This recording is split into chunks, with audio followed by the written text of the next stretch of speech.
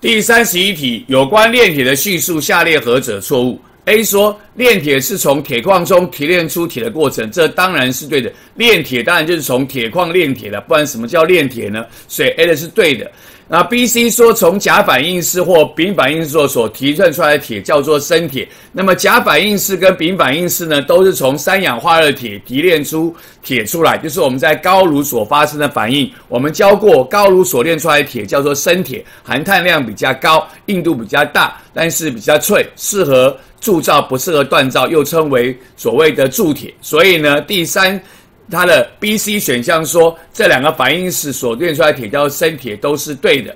那么猪选项说铁矿主要成分是 Fe2O3 三氧化二铁是一种纯物质，这个是错的。如果我讲的是三氧化二铁 Fe2O3 它是纯物质，那当然没有问题。可是铁矿中会有一些杂质，我们看到这里写个主要成分，既然叫主要成分是三氧化二铁，就表示还有别的成分。既然有别的成分，就不会是纯物质。所以第三习题问我们说，有关于炼铁的叙述，下列何者错误？我们答案选的是猪。铁矿主要成分是 Fe2O3，是一种纯物质。